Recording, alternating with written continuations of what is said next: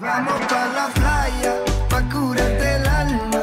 Cierra la pantalla, abre la medalla. Serenay Sarıkaya bir süredir Şahmaran dizisinin çekimleri nedeniyle Adana'daydı. Geçen hafta İstanbul'a gelen ünlü oyuncu 558 sanatçının 1476 eserinin sergilendiği Contemporary İstanbul'u gezdi. Hani bilginiz olsun diyorum yani.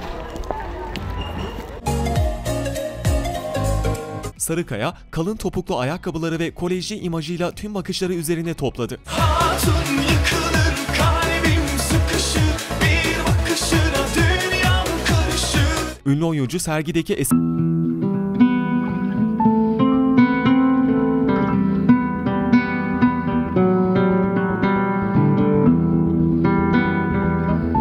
Selfie çekmeyi de ihmal etmedi.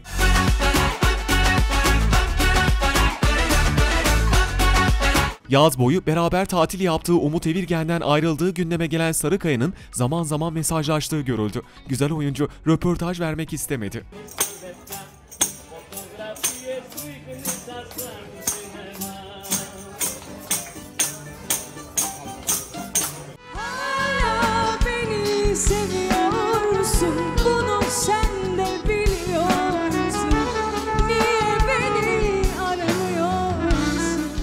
Serenay Sarıkaya sergide ünlü iş insanı Suzan Sabancı Dinçer'le de bir araya geldi.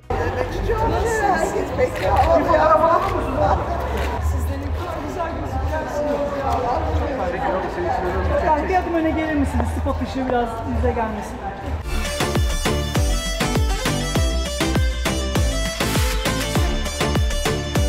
Aynı gün Contemporary İstanbul'u gezenler arasında Hacı Sabancı, annesi Arzu Sabancı ve eşi Nazlı Sabancı da vardı. Şıklıklarıyla dikkat çeken Sabancı ailesi birlikte objektiflere poz verdi.